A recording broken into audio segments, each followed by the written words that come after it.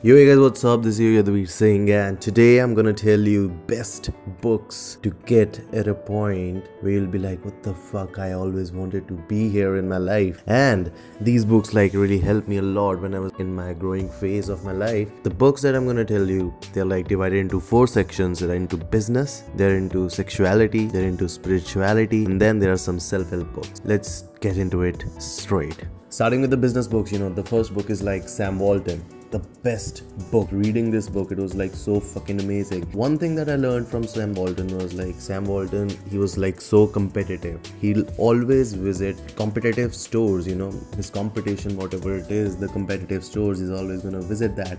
And there he's gonna see like what different are they doing from me. Like there are so many people in this store.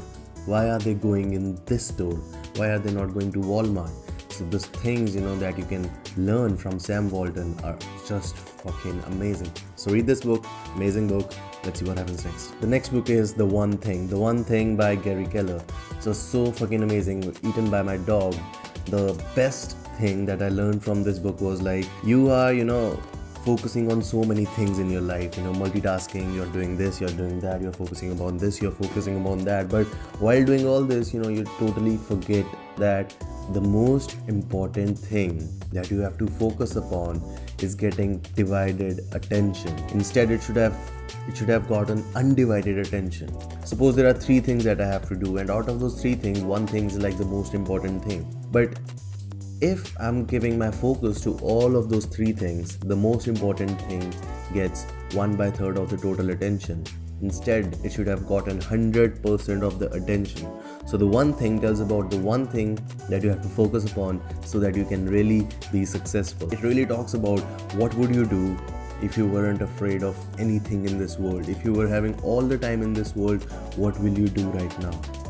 What will you do if you were not afraid of anything in this fucking world? The next book is Contagious. Tells about, you know, how to how emotions are attached to people how marketers use emotions to you know seduce people to buy their thing. It tells about what are different kind of emotions that you have to hit upon if you are into any kind of business. The next book is purple cow purple cow by seth godin. Seth godin is a marketing guru. There is no one like him and what he's telling in this book purple cow is that suppose you're going and okay you're traveling in switzerland okay?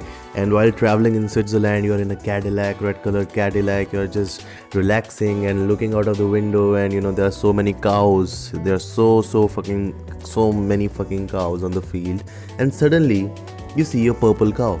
And you'll be like what the fuck? Stop stop stop stop the car stop the car. What is that You'll just get out of the car, you'll go near the near, near the cows and like what the fuck? There's this purple cow, you'll take your phone out, you're like posting Instagram stories. The fuck? There's this purple cow in this world. What is this and all that? So what Seth, Seth Godin is talking in this book, The Purple Cow, is that don't be boring. Like there are so many things. People will start doing so many businesses that don't appeal audiences. That is like they're like so fucking ordinary that people won't even give attention to them. For example, what was the last advertisement you just saw? Doesn't matter how much time ago, you won't even remember which one was the last advertisement because advertisements are like boring. They don't get your attention. So you won't remember the last advertisement. Okay? But what's the last craziest thing you have done? How will you remember the craziest thing you have done in your life because it's something different? Okay, so that's what Seth Godin talks about Purple Cow how to get attention of people if you want to do any kind of amazing businesses. The best book, the best business book is this one Ask Gary Vee. So it has a lot of amazing advices. It has a lot of practical advices because all of the other books are more about, you know, mentality, mindset, and all that things, you know, telling about the market. But what to do, hows, hows, so all of the hows are in this book. Gary Vee, as we all know, like he's amazing. Okay, he talks a lot of shit. Yes, he talks a lot of shit. You know, motivational bullshit. Because see, he cannot. He he has he has a media agency. Okay, he has a huge company.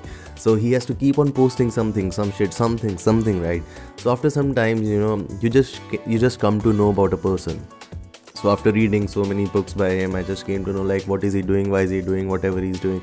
So you know this book is good because it gives you practical advices but i won't suggest someone to you know keep on looking for gary vee videos and all that shit. Coming up next the next section is spirituality. So the first book that i would recommend someone if they want to go into spirituality is the book of man by osho. So what osho is talking in this book the book of man he is telling the different roles a man has to play in his life you know the role of a husband the role of a sex toy the role of a playboy the role of i don't know a slave the role of a son the role of dad and dad there's so many things in this world that um, you know so many roles that a man has to play. So how to con- come out of the cycles you know how to come out of the roles that you are playing and just be a fucking man a man and not a role that a man is playing. Because you know whenever you're playing a role in your life you are identified with the role okay? And if something happens to the other person with whom that role is attached to for example if i'm if i say that i'm an indian okay? So the role that i'm playing is of a patriot okay? And if someone says bad about my country i'll get hurt. But i'm out of the role. I'm not a patriot. I'm not a fucking indian. I'm no one. I'm like not even what the fuck who am i? I don't know. Anyways so what i'm saying is whenever you get out of the role your ego shatters okay? And whenever you're not playing any fucking role in this world there is no ego at all. And that's how you know this book really fucking helped me. The next book is siddhartha. Siddhartha by hermann hesse it's a novel. If even if you're not spiritual at all you don't know shit about spirituality. But by reading this book reaching the you know end of this book you'll be like getting into spirituality. Because this guy talks really amazing shit. Because this book is actually a classic. It has been written in 1950s or 60s i guess and it's really very old and it got, got a lot of wisdom because the guy you know whatever he has been through is like telling everything about it. And reaching the end of the book he just you know tells how he picks up the stone you know and how he just looks at the stone and tells like what he has gone through in his life what is the stone he is the stone and all that shit. So this book is really fucking amazing. If you want to go into spirituality it's a novel and it will help you a lot to understand the basics of spirituality. The third book is freedom from the known by jiddu krishnamurti. Jiddu krishnamurti he was the founder he was like i think he was a part of theosophical society and he destroyed the theosophical society and his views on a man a freed the freedom in life fear and all his views were so fucking unconditioned. You know whenever whenever when i started reading this book he said like don't read this book it's not a book to be read. It's i'm not going to give you beliefs. I'm not going to give you set of instructions that you have to follow. Nothing none of that. This book is more like you know uh, introspection. Like he's keep on he's keep on asking questions inside himself. So it's like a journey that you go on with him and start asking question inside yourself like who are you? Who the fuck are you? And then there's this chapter where he's telling about the observer is the observed so when you'll start reading it you know in the beginning it's quite know, normal. You, you'll be able to understand it but as soon as it start reaching the end you know he talks about love he talks about hate he talks about observer is the observed when you'll start reaching to that point you'll be like what the fuck? This guy is so fucking amazing. Actually you know this book I, I read it in like three days. I finished it in three days and i still read it. It's so fucking amazing. The fourth book is tao te ching. Tao te ching is like it was written 500 years before even you know even when the christ was born. 500 years before the birth of christ. This book is so fucking amazing. It got it has got some verses. I don't know how many verses. 73 75 77 81 I don't near about 81, 82, 81 verses. 81 verses it is having, and those verses are so fucking deep. And you know what you have to do to understand, to really grasp, to really internalize these, you know, verses. What you'll have to do is you'll have to sit, do nothing, and read the verse. Read the verse, and just stop. Read the verse and just let it sink in. It's like a seed.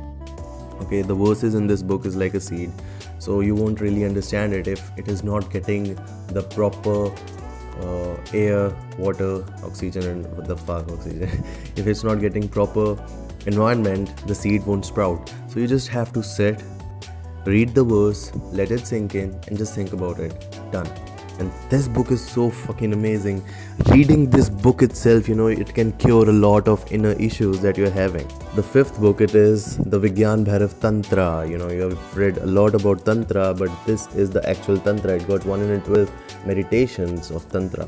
What all 112 meditations basically you know the Tantra is divided into three parts. So it's like Sambhavopaya, Saktopaya, and Anavopaya. Anavopaya is like, you know, those kind of meditations where you'll have to use something external, like beads, you know, you're like, oh, om, om, something, something. You, anything you need external, suppose idols, you know, gods on the roads and all that shit, temples and all, it's all external. You need something out of yourself to reach highest level of your consciousness. That is Anavopaya. That is the that is like you know the longest way. It will take a lot of time to reach conscious to you, to, you know reach the super consciousness if you you know just follow Anavopaya then comes the saktopaya. Saktopaya is more like you know you're using words. So you're like you're using mantras you're using affirmations you're using thoughts and whatever you're using something which is not external which is still internal but you're using something okay and then there is Sambhavopaya. Sambhavopaya is something where you don't have to use anything.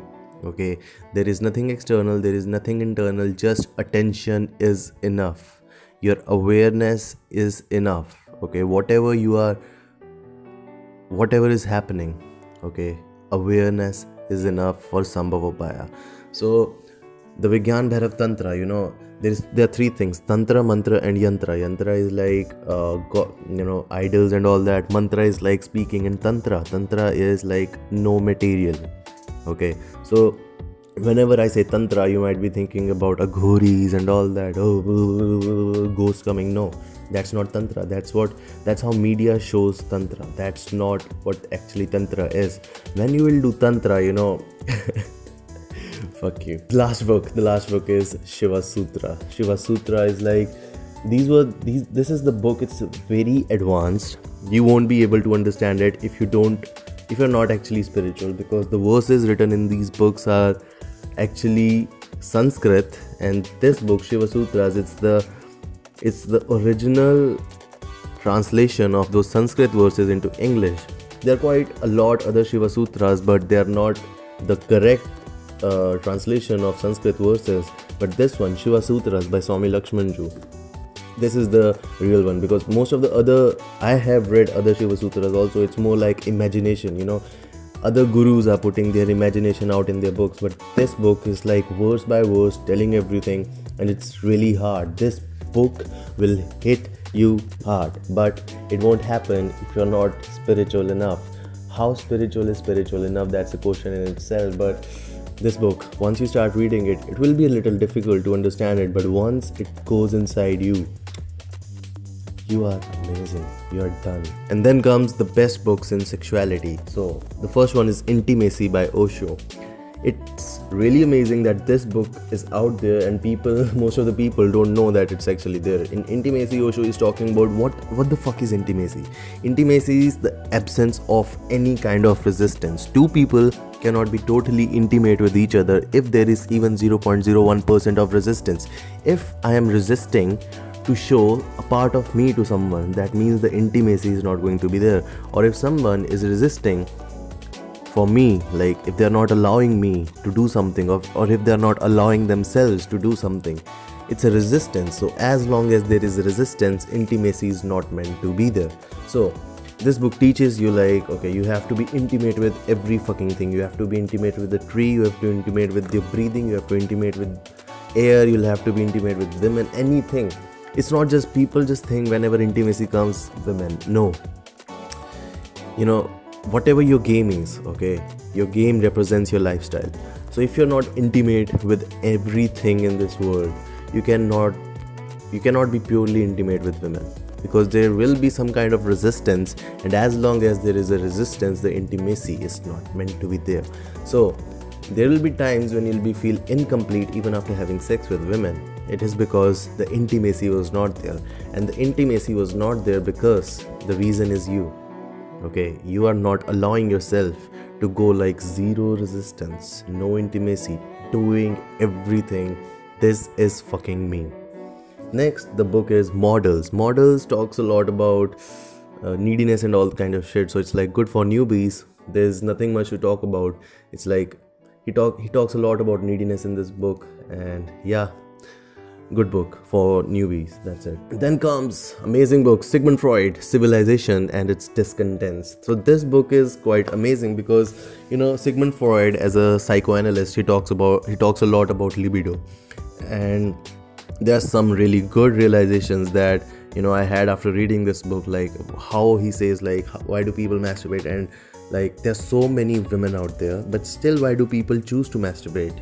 Because they don't want to do the hard thing. They don't want to go out and take action. So when people don't want to go out and take action they choose the easy way out. And whenever you choose the easy way out it is going to have an impact on all the things in your life okay? Whenever there'll be opportunities in front of you you're going to miss. Why? Because you'll choose the easy way out okay? And there are a lot of other things you know the pleasure principles that people always run after pleasure okay? Wherever there is pain they won't go there. But if they go if they won't go where there is pain there is no growth. What if i don't go to gym? I won't get good muscles. But if i don't go to gym i won't get good muscles right so that's the thing. Wherever there is pain, there is growth. Wherever there is pleasure, there is growth, but not long term growth. The last book in sexuality is The Art of Seduction. So, if as you can see, this book, you know, if I'll show you, it's like totally, oh, man, this book is totally colored by me. So, if you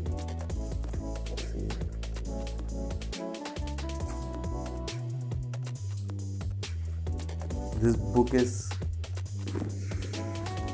this book is totally fucking colored by me. This book is so amazing that I it took me 5 months to complete this book and once I completed this book, it helped me a fucking lot. And all the kind of women that Robert Greene has recommended in this book, you know, that he's talking about in this book, the rake, the dandy, the siren, and all that, I've met all of fucking them. Okay, and this book, oh man, this search, this book seriously changed my reality forever okay. So i would recommend this book if you can just fucking read it. It's, amazing. Coming to the end of the video now i'm going to tell you the best self-help books that helped me to be where i am today. The first one is the four agreements. So it talks about the four agreements that you should have in your life. So it is written by a mexican author don miguel ruiz.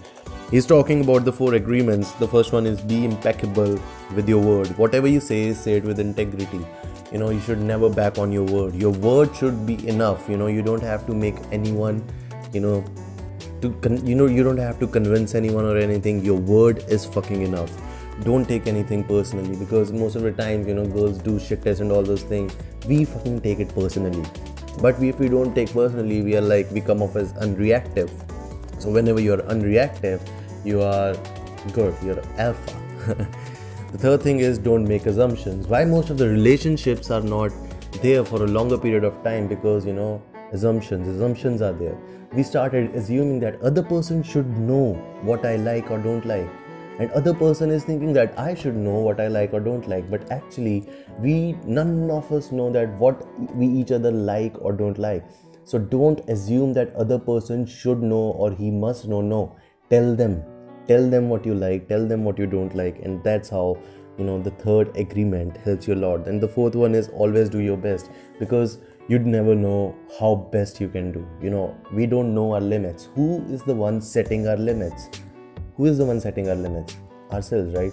So always do your best and you never know what is your best. Second book in self-help is Grain Brain. Grain Brain is a health book. It helps it helped me a lot to take care of my brain. It talks about the major function of your body is to carry the brain around. How to take care of your brain so that you know your brain takes care of everything.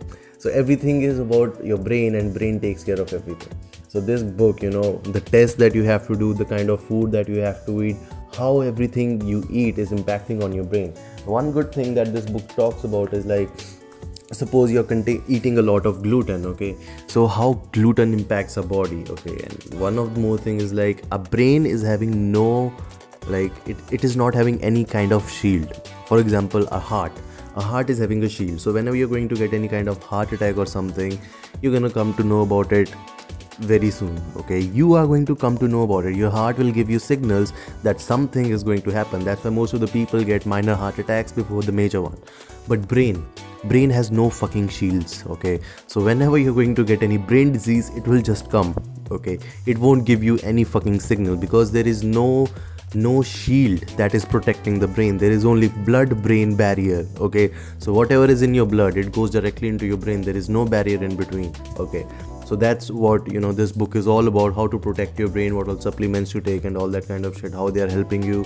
And once you start taking those supplements you're actually going to feel good in your life. Okay. The third book is creativity by osho. And this book is so good man. This book is so good. It talks about how creative you can be and how create what is creativity first of all how it stems out okay?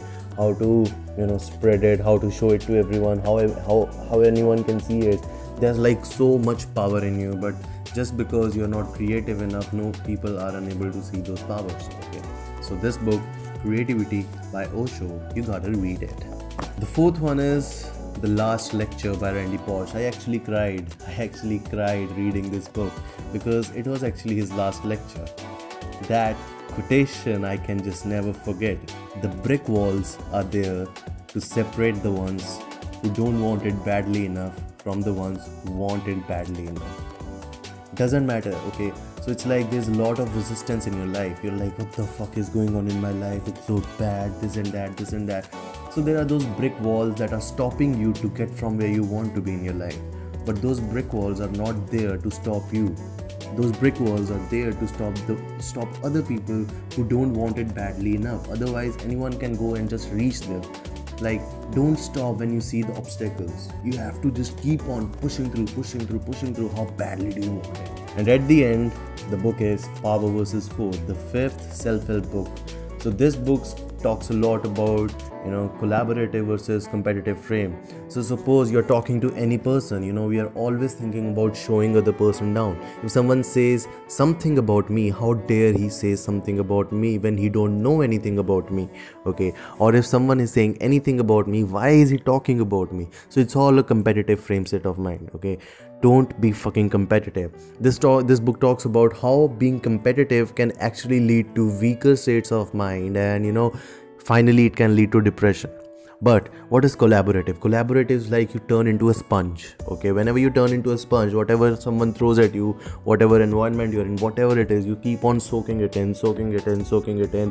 So when you keep on soaking it in you become like that. So if i throw a sponge in a red colored something water the sponge will start collecting all that red colored water inside itself and the sponge itself will turn into red color okay so you won't be able to see the different colored sponge in a red colored water okay? That's because of collaboration. So whenever you're having this collaborative frame someone is like you know you're the shittiest person in the world.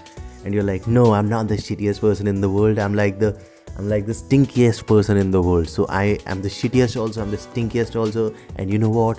You should come and try to lick me. Eh, something like this. So it's like someone says shit about you, you're like, you're making up on it, you're like more collaborative, like, yeah, you're you're talking shit about me. Yep, let's talk shit about myself, you know. something like this. So these this is how you know all of these books helped me to be where i am today. So if this video helps you give me a thumbs up comment and subscribe to my fucking channel. Until next time